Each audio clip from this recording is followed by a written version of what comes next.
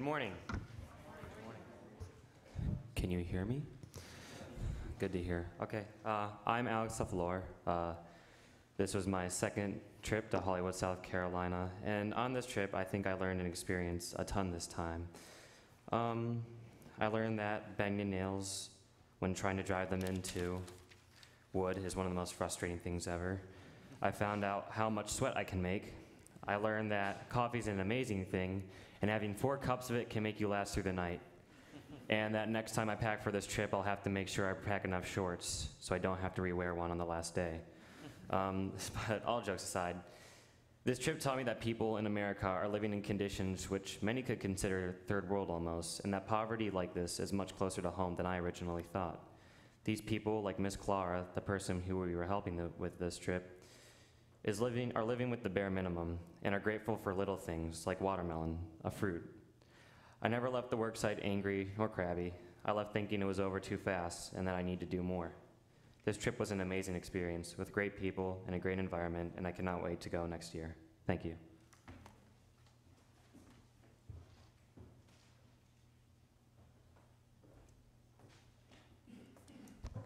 Good morning, everyone. Um, so this past week, I was able to go on my first missions trip to Hollywood, South Carolina.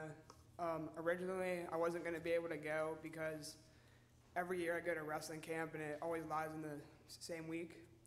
But my friends talked me into going this year, but I still wasn't too sure. Like I was hesitant to go and I didn't know what it was going to be like. Um, and I really felt this way until about the week leading up to it, and that's when I started to get excited to go. So the first day we were on the work site, we got to see the house and meet the homeowner who was Miss Clara. Um, she was one of the nicest uh, women that you will ever meet, and she deserved more than she had. So that was when I realized that we really needed to work hard to fix her house up.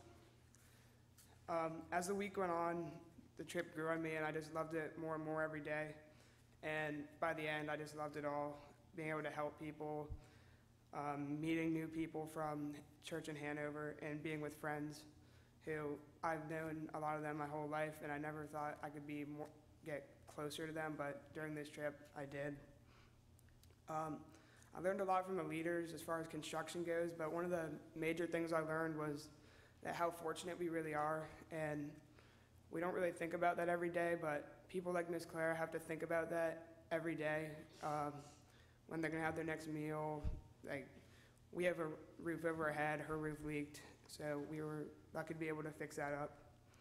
Um, looking back, I'm sure I made the right decision to go on the trip, and I wouldn't change it, and I can't wait to do it all again next year. Thank you.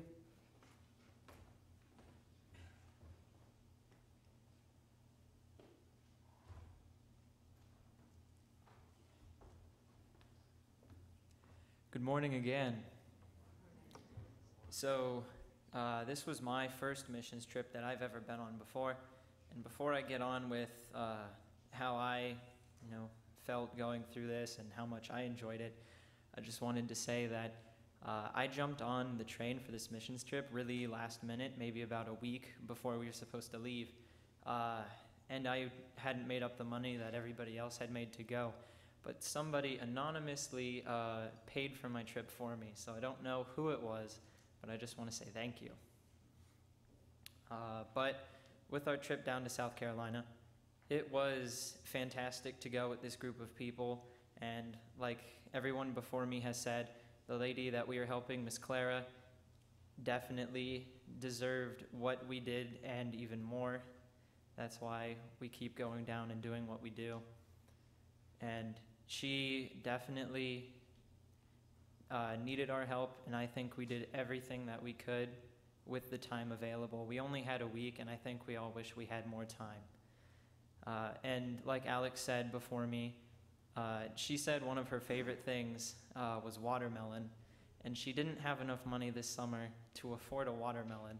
And I don't really think that's anything that we really have to think about at all. I think that's something that we can all just go out and buy a watermelon. But she's not quite able to do that. She doesn't have the money. Uh, she's spending all of her money trying to just barely get by. She has to take care of her son that lives with her. And she was so happy when we went down there to help. It just really showed me why we've been doing this for as long as we do it. She has so much spirit and she just has so much energy. She actually prayed with us. She was praying for us when we got down there at first. And that was really cool. Uh, just being down there. It's a whole different culture down there. Um, and it was enjoy, it was joy that really kept me going. The joy on her face, the joy that I saw in all of my friends. That's what kept me going in those hot, humid days. Always trying to get more work done, always trying to help everybody around me. Uh, and what I really took back from that is realizing that people have so much less than what we have. And I think as good Christians, something we have to do is to give back to our community, give back to other people, and just try to help everybody live a little bit better.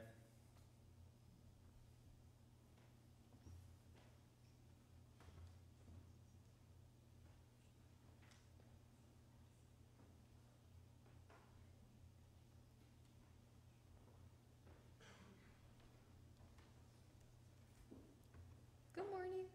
Good morning.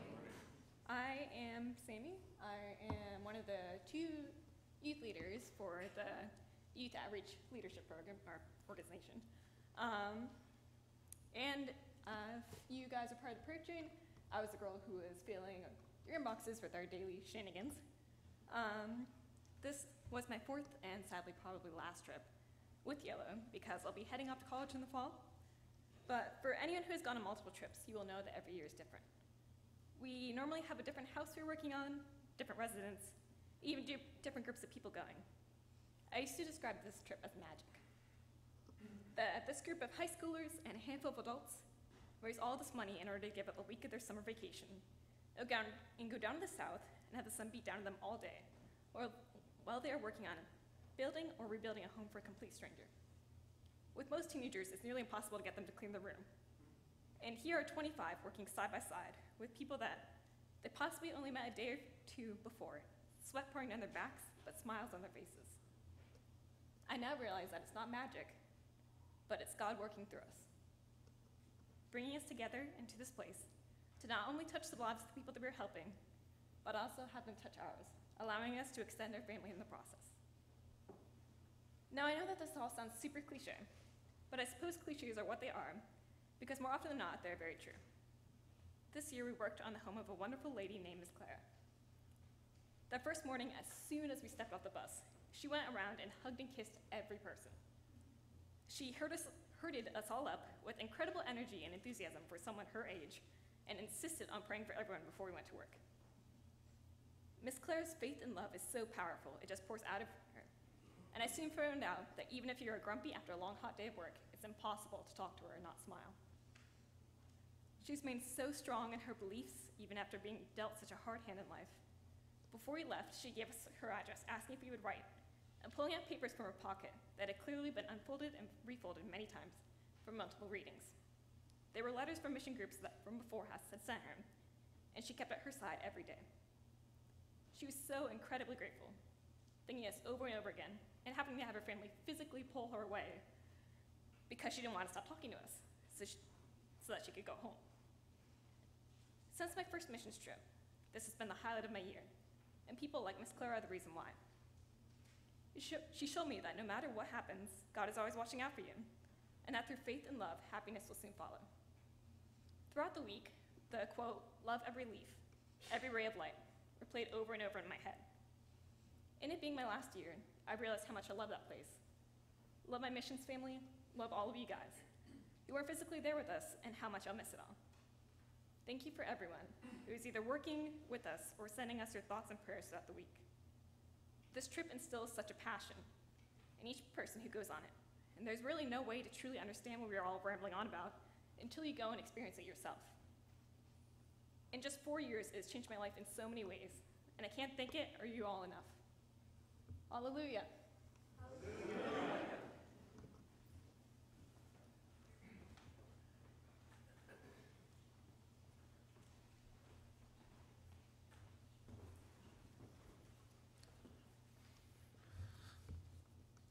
I think uh, it's absolutely appropriate that um, we give a round of applause to our missions team.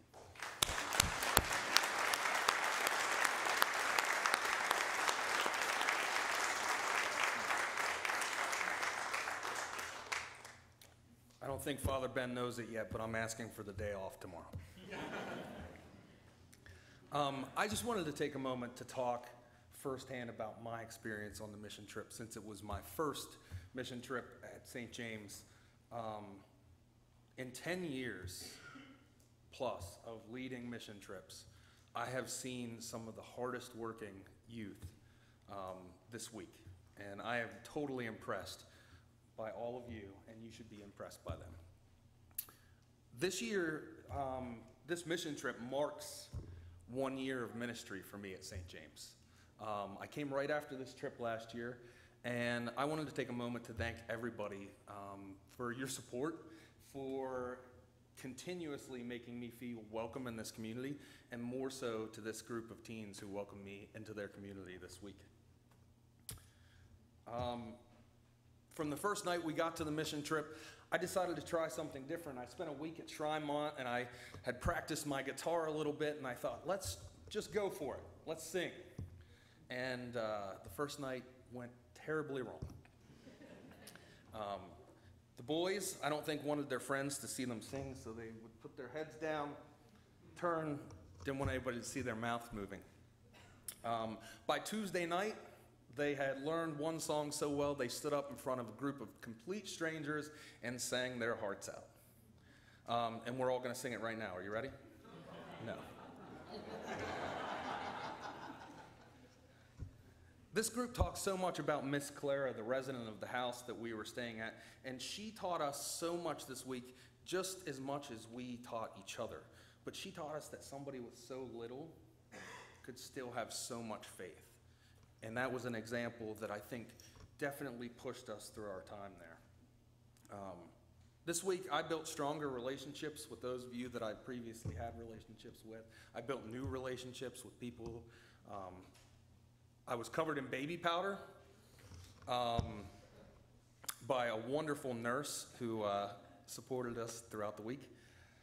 But I just wanted to say thank you again to all of those of you that supported us, whether it was financially supporting us, whether it was being part of the prayer chain while we were there.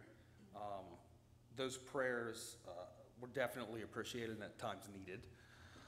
Um, but thank you again so, so much for your continuous support of this group of kids and my ministry that I get to have with them. So thank you.